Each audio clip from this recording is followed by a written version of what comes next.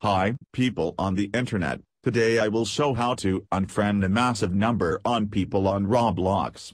Everybody is asking that for a very long time ago, so I'm showing you how to do it, on my way of course.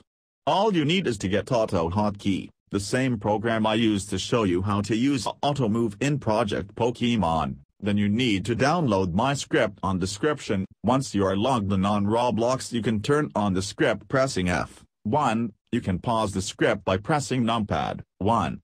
If you want you can edit the script in case your internet connection is bad, and you need more time to page can load all and click. If the script is misclicking, you need to get new coords for your monitor and page. If you need help with that, you can just add me on Roblox and PM me. See you guys later, if you like the video thumbs up, share and subscribe for more videos about Roblox.